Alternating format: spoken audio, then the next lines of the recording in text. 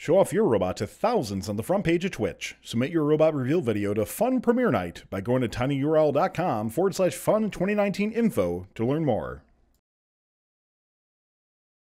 Hi, this is Griffin Connor from First Updates Now, and I am here with Katie from 10, Team 1080 Resurgence Robotics and Kaylee from Team 7429 Convergence. Uh, today we're going to be talking about what their take on the game is, what uh, Kaylee's team is like as a rookie team, and how they are working in the same build space. So, what do you guys take on the game this year? So I think it's important this year to focus on one thing and be really good at it and then go from there.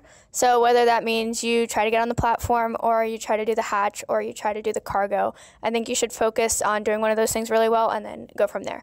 I also think um, the sandstorm this year is something new, so that's definitely an area of interest um, and something to consider this year.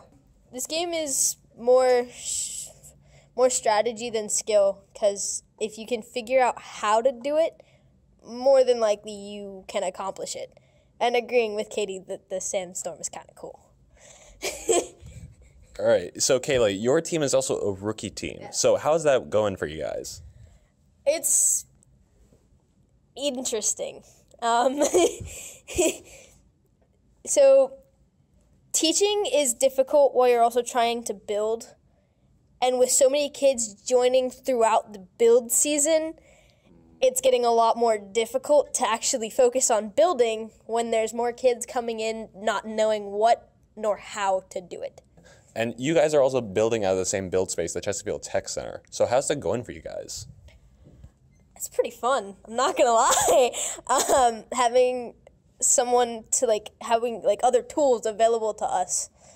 Like if we don't have tape, like we're trying to set up the field right now, we ran out of tape and they have tape, so we actually got to tape it down now.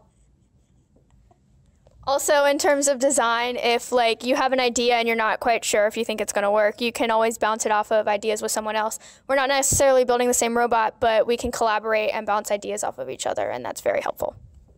All right. Well, on behalf of First Updates Now, thank you guys so much for ha having me, and good luck in the build season. Thank you to all of our co-executive producers keeping fun loud, live, and independent. Pledge your support at patreon.com forward slash first updates now.